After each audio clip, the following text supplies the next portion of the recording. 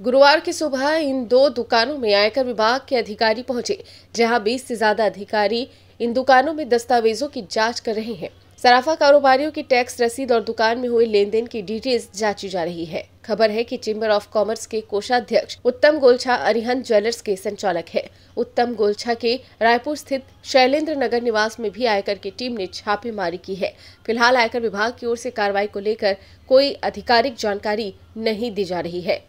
छत्तीसगढ़ में एक बार फिर इनकम टैक्स विभाग का छापा पड़ा है। आयकर विभाग की टीम ने राजधानी रायपुर के स्वर्ण भूमि कॉलोनी में रहने वाले स्टील कारोबारी के घर छापा मारा है। फ़िलहाल वहाँ पर कार्रवाई जारी है। बता दें, आयकर विभाग की टीम कारोबारी के घर के साथ ही उसकी फैक्ट्री पर भी दबिश देकर दस्तावेज़ खंगाल रही है। इसके अलावा एक टीम ने ओडिशा में भी छापा मारा है। बताया जा रहा है कि वहाँ कारोबारी के पार्टनर्स पर जाँच चल रही है।